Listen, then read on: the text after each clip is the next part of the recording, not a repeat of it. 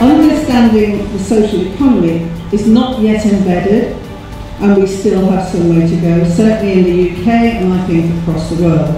And that is another reason why conferences like this one are so important. It's also why global champions are vital.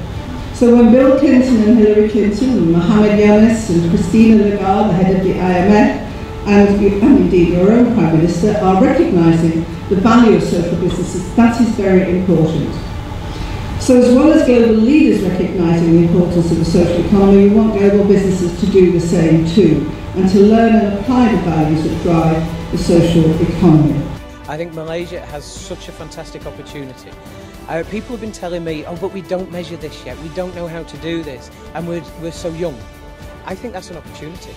I think you don't have the baggage that some of those older organisations have.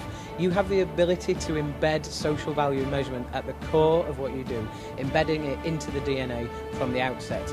Building bridges in, uh, in Malaysia, whereas other countries are talking about building walls. So that's really what sets them apart from any other government organisation I've dealt with. We worked with them first in the Berbudi Berganda Innovation Challenge to measure the impact of 12 uh, nonprofits that they were working with, and then we moved on to working with them on a social finance roadmap for the country, which is really um, a cornerstone of the 11th Malaysia Plan, seeing how private sector investment and social finance can play a role in achieving sustainable development for the country.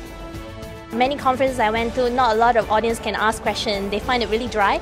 Over here is economy, and people ask me a lot of questions. So it proves that the panel are doing very well.